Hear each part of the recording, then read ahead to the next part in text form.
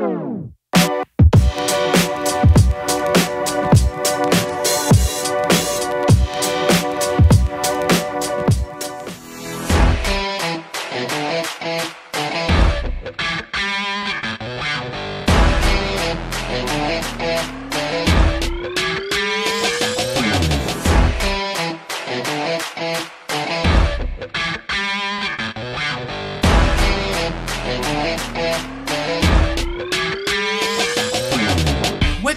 E benvenuti in un nuovo video dell'SMT Airsoft.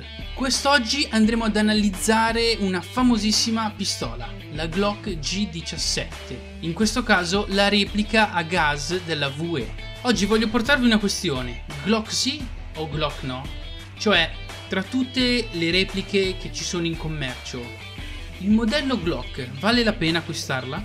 Allora, nella prima parte andrò a descrivere la replica facendo una specie di mini recensione. Nella info qui in alto a destra troverete una vecchia recensione, uno dei primi video del canale. Era abbastanza penosa, diciamo, qualitativamente. Erano gli inizi, quindi perdonateci se quella recensione non sarà il massimo. Uh, utilizzavamo gli strumenti che avevamo all'epoca e in base anche all'esperienza che avevamo all'epoca. Se avete il coraggio, guardatela. Nella seconda parte invece andremo ad analizzare i pro e i contro della serie Glock.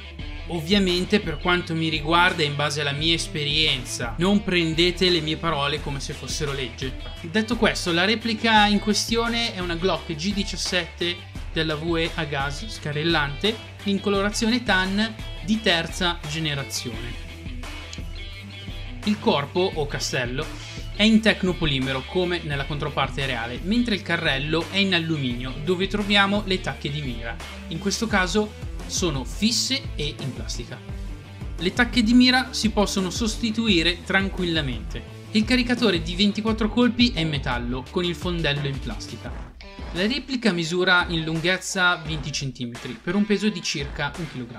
La canna esterna è in alluminio ed è predisposta per l'inserimento di un adattatore, che trovate nella confezione oltre al libretto delle istruzioni, per l'utilizzo di silenziatori o amplificatori o spegnifiamma. In questo caso la canna esterna originale non c'è, in quanto l'ho dovuta cambiare perché si era rotta. A fine video vi spiegherò il buffo aneddoto. Tornando seri, Glock sì o Glock no? Per quanto mi riguarda, ripeto, è un'opinione strettamente soggettiva? La risposta è sì. Ora andiamo più sul dettaglio. Primo punto. Nel modello Glock balza subito all'occhio l'assenza, tra virgolette, della sicura.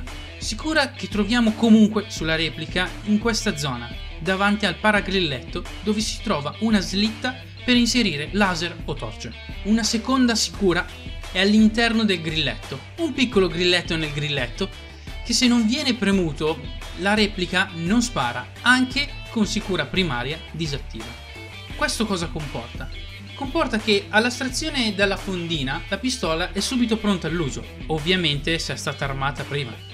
Nella Glock non troviamo quelle sicure sull'impugnatura o sul lato della replica, che a volte può succedere, mi è capitato, ci si impiglia di tutto tra erbaccia, rami, rovi, eh, l'uniforme, la stessa fondina se è in cordura, insomma un po' di tutto. Secondo punto, l'assenza del cane. Non inteso che nella confezione troverete un cucciolo di cane, ma intendo questo. Quell'elemento che nella controparte reale, colpendo il percussore, innesca la cartuccia facendo partire il colpo. Nella Glock non c'è, in quanto troviamo un percussore lanciato chiamato anche Safe Action o scatto in semidoppia azione. Il percussore ovviamente nella replica da soft air non c'è, troviamo invece lo spingipallino dove al suo interno viene incamerato il gas. Se a qualcuno interessa vedere il funzionamento del percussore lanciato della Glock reale, vi lascio il link eh, sotto in descrizione di un video. Il terzo punto è strettamente collegato ai primi due e stiamo parlando del design della replica. Il fatto delle sicure nascoste e l'assenza del cane fanno sì che l'intero corpo della Glock sia molto lineare, quadrato e difficilmente qualcosa si aggancerà.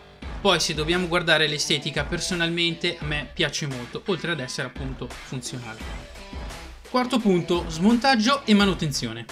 A differenza di altri modelli, la serie Glock per dividere carrello e castello Basta tirare in basso queste due levette contemporaneamente e il carrello sfilerà facilmente in avanti.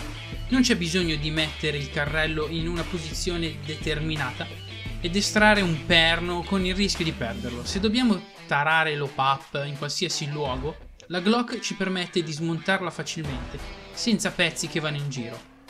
Per quanto riguarda la manutenzione, nei prossimi giorni uscirà un video tecnico in merito alla questione. Quinto punto, il peso. Dato il castello in polimero, diciamo che è leggera rispetto ad altri modelli full metal. Questo comporta una minore oscillazione nei movimenti della pistola quando si corre, oltre a non sentire affatto il peso quando la si porta.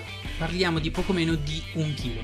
Questo posso assicurarvelo perché ho provato vari modelli eh, di pistole full metal e quando correvi andavano da tutte le parti comunque la sentivi, sentivi un po' il peso, ok? Non è che pesa tantissimo una pistola, però comunque una pistola full metal senti il peso, soprattutto se eh, utilizzate una mm, fondina cosciale.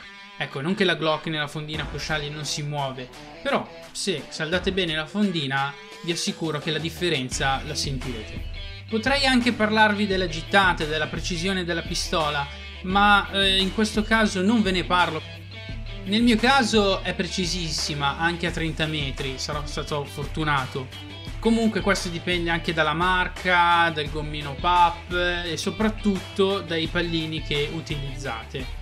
Non andiamo ad aprire questo discorso perché sarebbe un discorso vastissimo e poi stiamo eh, discutendo su Glock sì o Glock no, non VE sì o VE no. Se devo trovare una nota negativa, l'unica pecca che trovo è l'assenza nella predisposizione del carrello nell'inserimento di un mini dot, anche se non è fondamentale il dot in una pistola.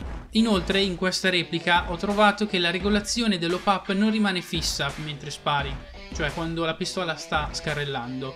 La piccola ghiera che troviamo appunto nella regolazione per l'op-up a lungo andare si sregola. Problema risolto facilmente con un trucco che appunto vi andrò a spiegare nel video tecnico che uscirà nei prossimi giorni.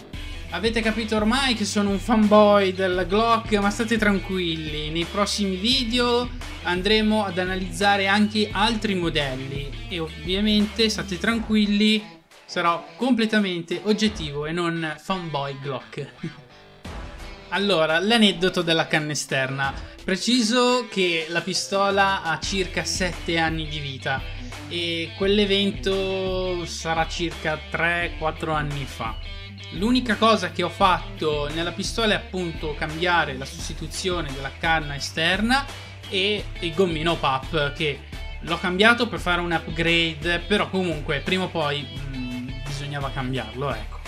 La canna esterna si era rotta in due, precisamente in questo punto. Stavamo scaricando i caricatori a fine giocata e ad un certo punto la parte cilindrica della canna esterna è partita in avanti, 5 metri circa. Per fortuna i pezzi di ricambio si trovano tranquillamente, la VE è compatibile con Marui, quindi i pezzi aftermarket ci sono, tranquilli. Allora, secondo me il, quel pezzo appunto era difettoso e a lungo andare poi si è rotto. Io comunque uso molto la pistola. Poi ovviamente è tutto opinabile, ognuno ha appunto le sue opinioni. Comunque mi è bastato sostituirla tranquillamente. Tirando le somme, replica stra stra consigliata. Io con VE mi sono trovato benissimo, non è la prima pistola VE che possiedo eh, in questo caso rapporto qualità-prezzo è buono. Nei commenti ditemi cosa ne pensate, cosa ne pensate appunto della pistola, se la possedete, se avete altre marche che ritenete molto valide, scrivetelo nei commenti, poi io analizzerò tutto e vedremo poi appunto di fare altri video. E niente gargiulli, per questa recensione è tutto, vi ricordo di iscrivervi al canale, di attivare la campanella vi ricordo di seguirci anche su Instagram, taggateci sulle vostre foto, sulle vostre storie. Da M è tutto, ad un prossimo video. Stay hungry, stay biru!